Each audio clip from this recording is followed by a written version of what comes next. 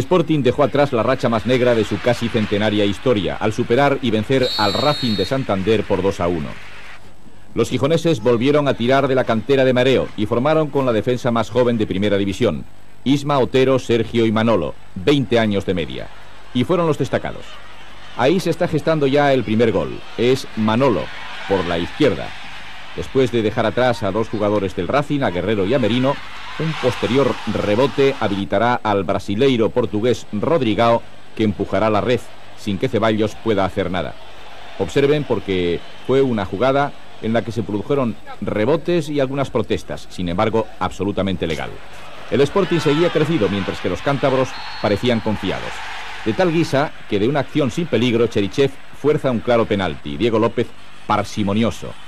Y Tomás, que golpea con la pierna izquierda, y formidable también el guardameta Ceballos, que toca. Era el minuto 24. A trancas y barrancas. El balón a la red y Marcos Alonso que trata de organizar a su equipo. El asturiano Sietes se va dejando el hueco a Porfirio. La única acción peligrosa del Racing, minuto 43, tiro de Correa. En la segunda, el Racing sale concienciado y con más genio. Porfirio lleva bien el balón, arriba, aunque su centro inocente lo ataja el yugoslavo Lekovic. Pero aún no se había cumplido el minuto uno cuando otra incursión del buen jugador portugués acabará en gol. Su pase magnífico a Alberto es aprovechado por el veterano delantero, que le gana la posición a Sergio y a Lekovic. 2 a 1. Había nuevamente partido y emocionante, por cierto. En el minuto 3 el rematador será Velasco, aunque el mérito y la galopada por la banda fue del montenegrino Popovic, que agradó. Ahí tienen a Velasco golpeando y a Ceballos enviando a córner. En el minuto 18 apura el Racing, como ven siempre por la banda izquierda y siempre con Porfirio de protagonista. Balón peligrosísimo que despeja a Otero. Minuto 37 después de esta repetición en la que Otero salva al Sporting. Será Beschanik el que golpeará enviando al hueco. Alberto se lanza con el pie y Lekovic con apuros bloca. Minuto 39, dos después, buen remate de Bechanik con la zurda. Lekovic logra despejar a córner. El Racing dominaba, pero el Sporting sacaba provecho con contragolpes llevados especialmente por Cherichev. Ahí, sin embargo, es Luna. Después de diversos toques, el rematador conseguirá abrir el balón hacia la frontal. José Manuel, finalmente, con el exterior del pie derecho, golpea con muchísimo peligro, como van a ver ustedes en la repetición. Ahí llega y busca a la escuadra. Con el 11 cántabro en campo asturiano, este es el que saca la falta desde el semicírculo central. Y contragolpe, una vez más, Dimitri Cherichev, la flecha gijonesa, encara a varios defensores cántabros y acabará forzando un córner. Y así se cumplían los 90 minutos y también la racha más negativa que el Sporting sufriera en sus casi 100 años de vida. El 2 a 1, justo ante el Racing, da el primer triunfo a los locales que se vieron arropados por una afición que aún no les dio la espalda. La primera división se ha saldado con una derrota que enfadó mucho al presidente Caneda. No fueron suficientes las bajas del rival, la prematura lesión de Valerón y adelantarse en el marcador para conseguir al menos un punto en el Luis Sillar. Primera ocasión clara, doble remate de Monchu. El mejor del Compostela durante todo el partido fue Punk.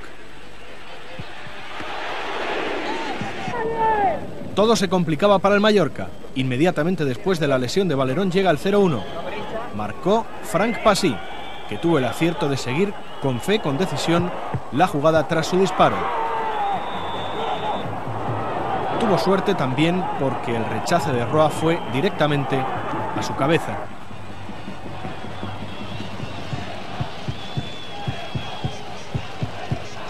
El tanto descompuso durante unos minutos al Mallorca, nervios en defensa y pocas ocasiones de gol, casi siempre a balón parado. El público pidió algún penalti, como este.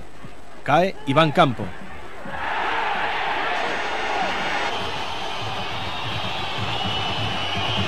El primer cuarto de hora del segundo tiempo fue decisivo. Empató a los dos minutos Stankovic. Trabajo incansable de Galvez por la banda derecha. Su centro lo va a aprovechar a la perfección Johan Stankovic.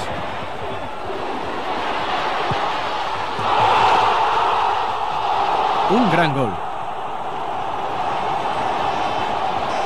Empate a uno, minuto dos de la segunda parte. Tiempo para dos especialistas en el lanzamiento de faltas. Pénez y Stankovic rozaron el gol.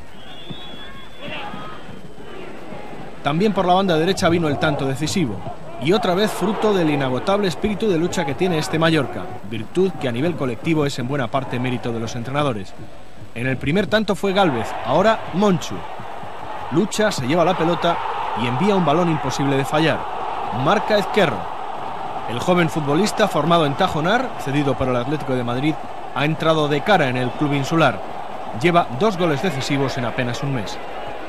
De ahí al final, ocasiones alternas más claras para el Mallorca y muchos nervios en el Compostela, que se acercaba a la meta de Roa más a trompicones que por talento. Finalmente 2-1, el Mallorca se mantiene en zona de UEFA y el Compostela de promoción. Rentabilizar su mayor dominio y la calidad de sus hombres ante un Mérida disciplinado que cedió terreno y que sufrió las lesiones de Marcos y Clever en los albores del partido. Marcos sufre fractura de peroné y Clever traumatismo cráneoencefálico. Luis Aragonés probó hoy con Iván Pérez en lugar de Oli para tratar de corregir la nulidad goleadora. A los siete minutos el primer percance, Clever en pugna con Otero, se estrelló con Prats y quedó conmocionado sobre el césped. Se recuperó a duras penas y jugó todo el primer tiempo. Después, a los 12 minutos, a la salida de un córner, Marcos tuvo la desgracia de pisar mal y se dobló tanto el tobillo que sufrió fractura de peroné. Alfonso se dio cuenta de la gravedad del hecho. El Betis tuvo muchas dificultades para superar el entramado defensivo que Jorge de Alessandro preparó en el Villamarín. A esas dificultades se sumó en contra el acierto de Navarro Montoya, que fue salvando una a una todas las ocasiones más peligrosas del Betis. Esta de Finidi no fue la única que el nigeriano disfrutó a lo largo del partido. De esa jugada, este saque de esquina al segundo palo donde Iván Pérez cabeceó sin acierto. Pero fue en otro córner cuando el Betis encontró el primer gol de la tarde. Alfonso, también de cabeza, aprovechó la jugada de laboratorio del lanzador Jarni y el colocador Olías. Un precioso tanto el cuarto de Alfonso en la liga que llegaba en el minuto 37 de esta primera mitad. En tiempo de prolongación, Finidi no quiso ver a Iván Pérez que estaba solo y optó por un tiro que nuevamente Montoya sacó de manera espléndida. En el segundo tiempo, el Betis enriqueció el repertorio de jugadas con Alfonso y Finidi como estilistas y con sucesivas incorporaciones desde atrás de hombres como Otero y Merino. Navarro Montoya tuvo mucho trabajo y con una mayor puntería del Betis el resultado habría sido escandaloso. Jarni no acabó de consolidarse en su banda y fue sustituido por Cañas cuando el partido tomó mal cariz para los verdiblancos, porque a los ocho minutos de este segundo tiempo al Mérida le salió milagrosamente bien un contraataque de Gabrich y Ruano que ni Olías ni Vidakovic ni finalmente Jaime pudieron parar. Un gol a trompicones que premiaba en exceso el trabajo débil en ataque del Mérida. Segundo gol de Ruano en la liga y en el marcador un empate que tardó mucho en romperse. Montoya fue decisivo en este remate de Merino. Y los nervios del Villamarín se desataron cuando el árbitro no vio cesión de Pablo Alfaro a Montoya a los 21 minutos. Prats también debió estirarse en esta aislada ocasión que Simbal se preparó con astucia. Pero la calidad del Betis acabó por imponerse. Una jugada de Alfonso con Otero permitió a Finidi lograr el tanto de la victoria a los 35 minutos. Fue una acción fulgurante que sorprendió a toda la línea defensiva del Mérida. Sexto gol de Finidi que celebró con sombrerazo su acierto ante la meta rival. Finidi no estaba en fuera de juego.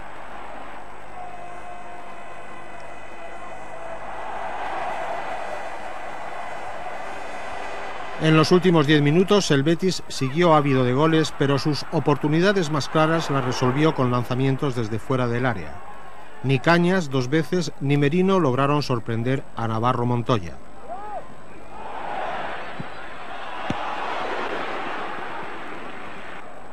Esta de Merino tuvo continuación en Iván, pero el portero argentino no merecía semejante castigo. El Betis había olvidado la derrota del miércoles en Zaragoza.